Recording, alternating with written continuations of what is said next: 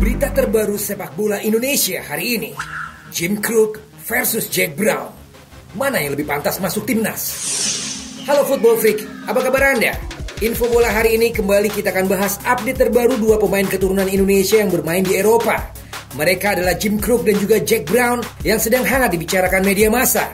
Berita bola hari ini kita akan ulas juga peluang keduanya untuk berseragam timnas Indonesia. Dan kabar bola hari ini juga kita akan intip pemberitaan media Thailand mengenai Jack Brown, Egy Maulana Fikri, dan Witan Sulaiman. So, selamat menyimak. Dijuluki The Next Lewandowski berdarah Jawa, Jim Crook menegaskan belum pasti membela timnas Indonesia.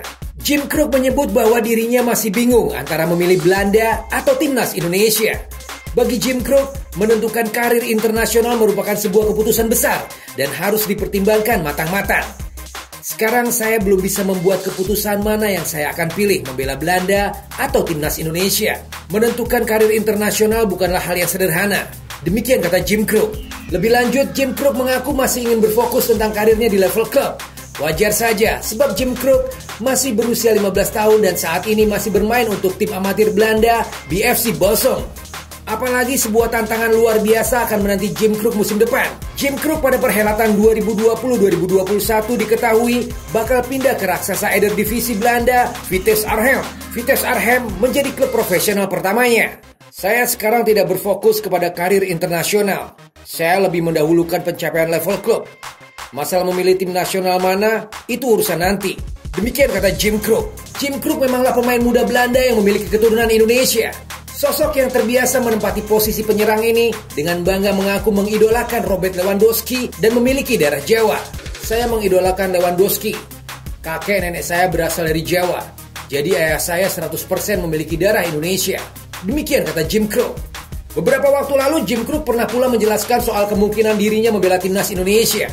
Jim Crook sempat mengatakan bakal siap sedia jika suatu saat nanti dibutuhkan skuad Garuda.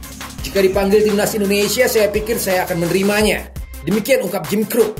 Namun seperti yang sudah dijelaskan, Jim Crook untuk saat ini belum bisa memutuskan soal karir internasionalnya. Patut dinanti, apakah Jim Crook pada masa yang akan datang bakal memilih membela timnas Indonesia atau justru membela Belanda?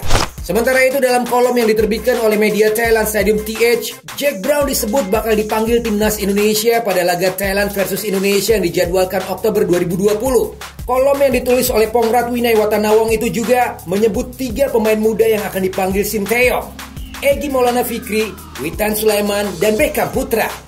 Walau pernah dicoret dari pusat pelatihan timnas Indonesia U19, Jack Brown dinilai masih memiliki keunggulan fisik yang baik sehingga bisa menjadi salah satu opsi Sinteyong. Gelandang serang 19 tahun yang bermain di Lincoln City, Jack Brown, walau telah dicoret pada pemusatan latihan timnas U19, ia memiliki fisik yang unggul dan sense memainkan bola yang lebih baik, sehingga bisa menarik perhatian Sinteyong untuk menjadi opsi di laga kontra Thailand. Kemungkinan bisa menjadi pemain pengganti. Demikian tulisan yang ada di kolom stadion TH tersebut. Well, jika menilik dari perkembangan, hasrat, dan juga gaya bermain, sepertinya Jack Brown lebih mumpuni untuk masuk timnas Indonesia. Tapi hal itu tentu saja bisa dipatahkan begitu saja jika melihat perkembangan yang ada. Karena kualitas yang diinginkan oleh Sinteyong adalah fisik, mental, dan determinasi. Demikian berita bola hari ini. So, bagaimana komentar Anda?